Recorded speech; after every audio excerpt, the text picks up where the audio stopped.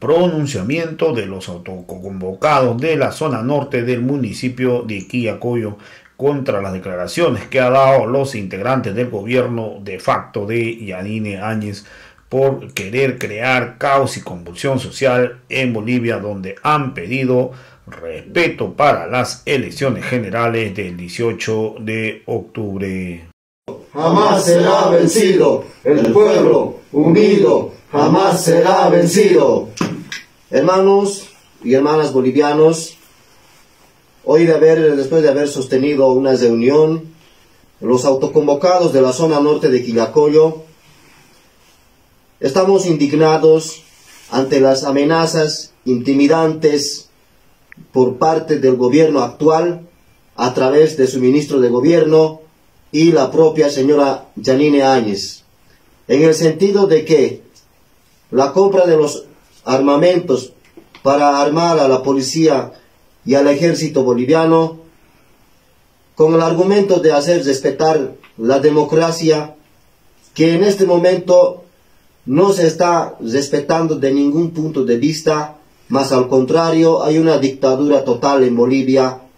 y ante eso instamos a la comunidad internacional de que tome cartas en el asunto y que ponga sus ojos en nuestro país, Bolivia. Lamentamos mucho el accionar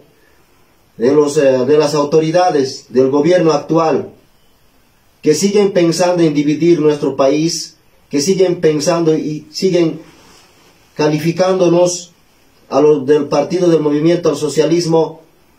como parte de no pertenecer a Bolivia,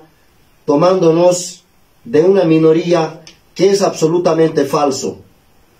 Ya hemos visto en todo este tiempo de la campaña electoral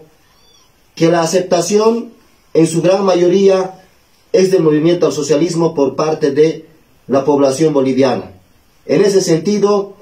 el gobierno actual, más los partidos de la derecha que siguen pugnando el poder político en Bolivia, están gestando nuevamente un autogolpe de Estado para que se sigan perpetuando en el poder a través de la fuerza, de la policía, el ejército, más eh, el apoyo de los paramilitares organizados en el anterior golpe de Estado, que son las mal llamadas resistencia juvenil Cochala, que hoy por hoy siguen circulando libremente en nuestro país sin ninguna sanción con, con respaldo del gobierno actual, a través del ministro de gobierno y el ministerio de gobierno, los policías y militares, algunos que han cometido actos irregulares, que han sido destituidos en la policía, en la institución, de la misma forma, el ejército, hoy por hoy ya están unidos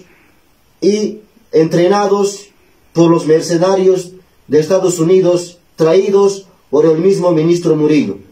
Ante todo eso, instamos a todos los hermanos bolivianos y bolivianas tomar conciencia y este 18 de octubre hacer respetar la democracia y el voto democrático, el voto universal de cada uno de los ciudadanos de Bolivia, quienes vamos a salir victoriosos como movimiento al socialismo. Jalale el movimiento socialismo. Jalale Bolivia. Jalale Bolivia libre y soberana. ¡Jalaya! ¡Jalaya, autoconvocados! ¡Jalaya!